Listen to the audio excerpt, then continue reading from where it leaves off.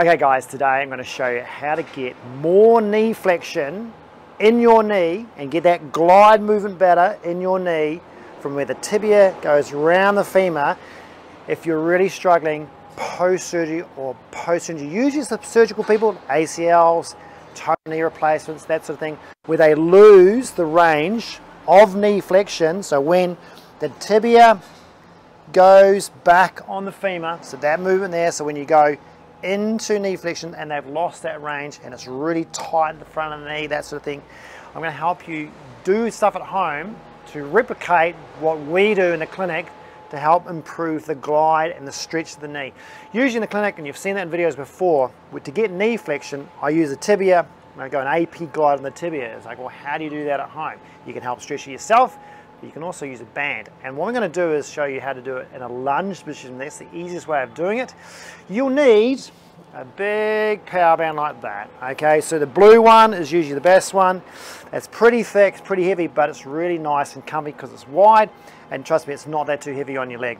What you'll need to do though is put it or attach it to something it's not going to move. Now, I suggest what you do is have that sort of down almost around about knee height. So you work out where your knee is, it's around about knee height, maybe go a little bit lower, that sort of thing.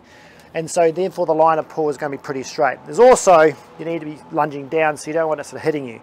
Now what you do, you've got to think about the biomechanics. When your knee flexes, your tibia slide, glides and rolls under your femur. All right, it doesn't just hinge open like that. It's more of a movement like that. So what we're trying to do is help the glide movement. And that movement you can lose simply if your tissues have been inflamed, swollen, they've contracted, maybe they've really scarred and stiffened following surgery, especially those people who've had total knee replacements with the surgery scar in the front, then this is definitely for you. Because what we're going to do is use that band as the physio's hands. So my hands in the clinic will be doing an AP glide.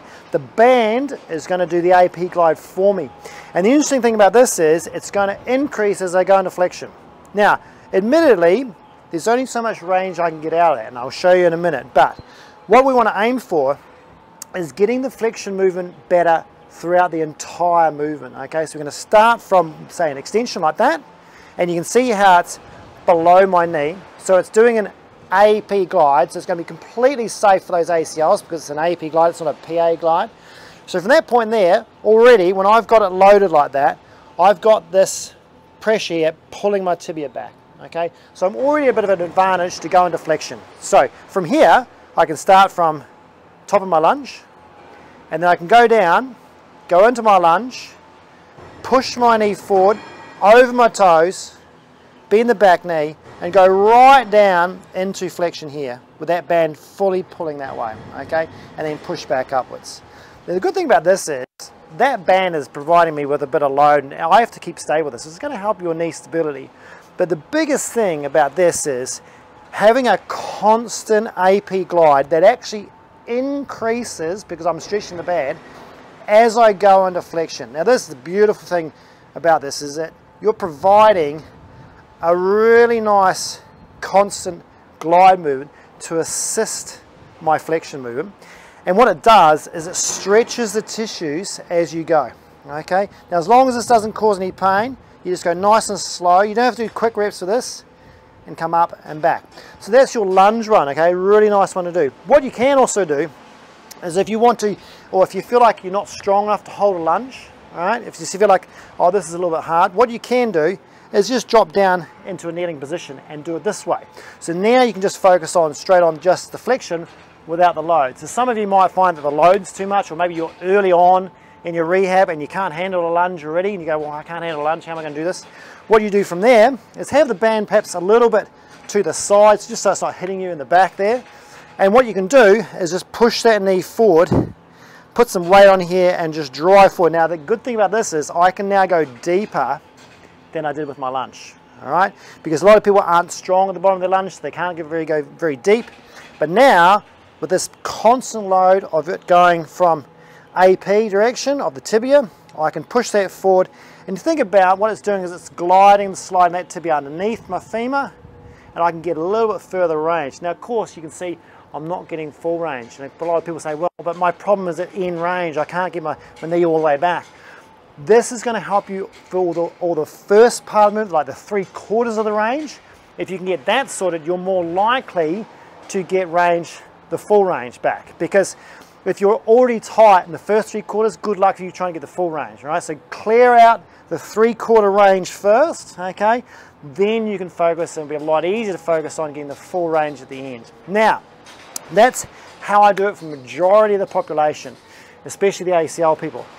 There are some people who need it the other way and I'll explain why. When you've got, say, a total knee replacement surgery, you're very, very stiff in the front, okay? And the, there's a lot of scarring through tissues in the front. They've been blown up, they've been swollen, and they've got to calm down. And when they calm down, they contract a little bit. So when people bend their knees, they haven't got enough tissue range in the front to actually bend their knee.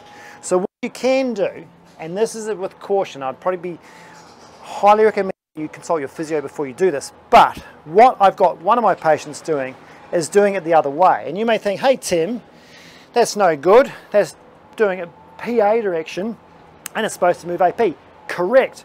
But what she's doing is she's using it in this position here to stretch the front of the knee. And the good thing about this is it actually gets lesser as she goes in when it gets tighter. Okay, so she's just using it. She finds that we, and we find with her traction of that, well, traction providing distraction into a PA direction helps stretch the front of, oh, she's got so much stiffness from her surgery in the front of the knee that when she goes forward, she can actually get more range in her knee doing this with a band than without. She still does it the other way, okay? She still does helping the glide mechanism. We don't just, just do this, we make sure we do the other way. But this way here really helps her stretch out the front and here, which she couldn't do without the band. So there's only sort of, this way is only for people in specific circumstances like having too much stiffness in the front knee, majority is going the other way. So if you've got problems in deflection and you can't, so you're, you're wondering what to do at home, try that with the band going that way, see if that helps.